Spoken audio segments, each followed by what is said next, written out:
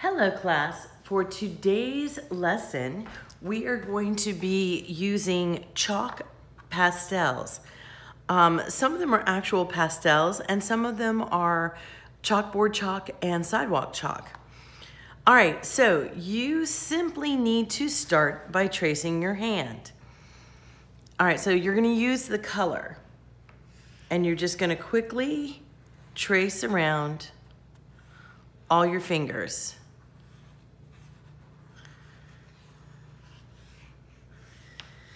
All right, the next thing you're gonna do, you're going to add the bones in the fingers and the hand for the x-ray. So in the fingers, you should probably be able to get about three ovals. So I'm putting three ovals in each finger. But since the thumb is shorter, I'm only gonna do two ovals. All right, the next thing I wanna do, I wanna do the bones that are in the hands. Now I usually start, you see down here where the hand ends and the arm starts. I usually start by putting this V and the V aims towards the pinky and towards the thumb because I put a long oval this oval points towards the pinky. This long oval points towards the next finger. So basically, as you can see, I need one oval for each finger. Now we're not gonna worry about this line because when we draw, add in more details, you're not gonna see it. Um, one of the cool things about um, chalk is that it's very forgiving, meaning that you can change things in a way that nobody's going to notice. All right, so here's an oval for the thumb. It almost looks like a little handprint itself because there's one for each finger, one, two, three, four, and one for the thumb. Well, now there's bones in the hands. And here's the beautiful thing about forgiving chalk. I feel like I made this too long, like it's going into the hand too much. So I'm just gonna kind of wipe it out and redo it. All right. So now we want to put, I'm going to cover that up with another oval. And I'm going to do five ovals for the bones in the hand. Just arrange them however you think they look nice. And then for the arm, and my wrist is a little narrow, so we're, or my arm is a little narrow, so I'm going to put this line out here so that I can draw the ovals in. And if your chalk gets a little messy, you could just wipe it off if other colors get on it. Or like, see how I got that orange on it and I want it to stay white? Just wipe it off. All right, one more oval. So two bones, two ovals for bones, those long bones in your arm. And you're simply going to fill in really quick to do. And you can see now where I kind of had that mess up. You really can't tell. That's the nice thing about the chalk pastels. They are very forgiving. Forgiving meaning it's easy to hide your mistakes.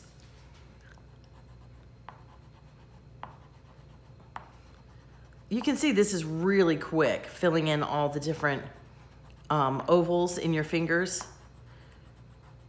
because chalk pastels are pretty wide, so they cover a lot of area quickly.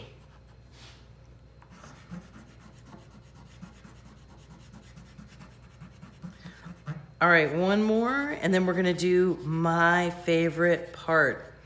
So we've got our bones, we've got our um, bones outlined and colored in. Now we're gonna work on this thin outline. To make it look like an x-ray, we want it to look glowy. Um, so the trick is that you've got to put your finger on the pastel and pull out.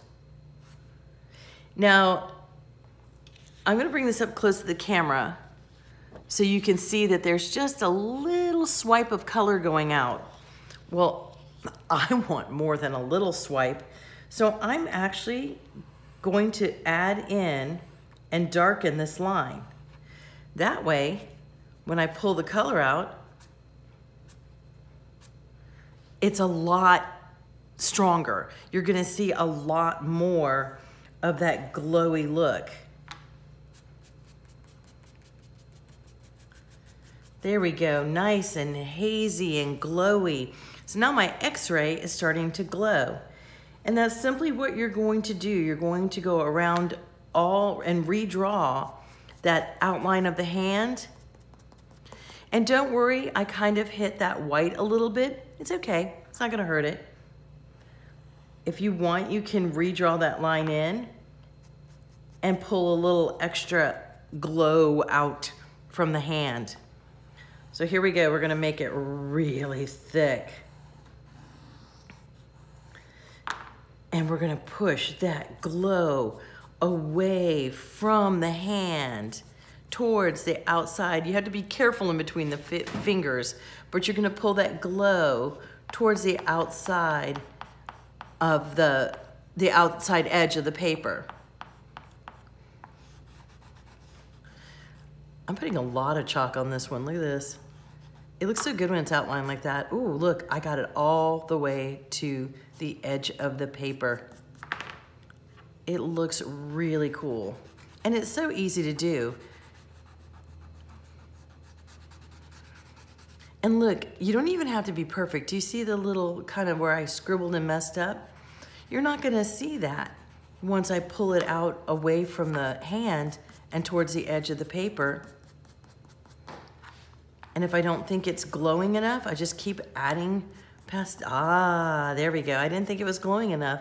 I added more pastel, got it thicker, because the more you add, the more dust, chalk dust is on your paper.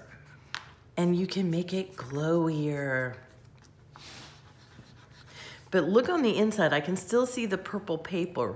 We wanna keep whatever color paper you use, we wanna keep um, the chalk, we don't wanna smear in the middle area. We want that to be a, a nice contrast. All right, last smears of the glow. And again, I want it glowier than that. So I'm just gonna go back over. I mean, you might be like, that's enough glow for me, I'm good. But I like it super glowy. I love doing this. So I am actually gonna color over it, add more chalk so that I can have more chalk to slide across my paper because I just think it looks so cool when it's all glowy like that. All right. And once you are done, take a look. Like I'm looking and I feel like it's pretty even. Over here, I think it is very thin.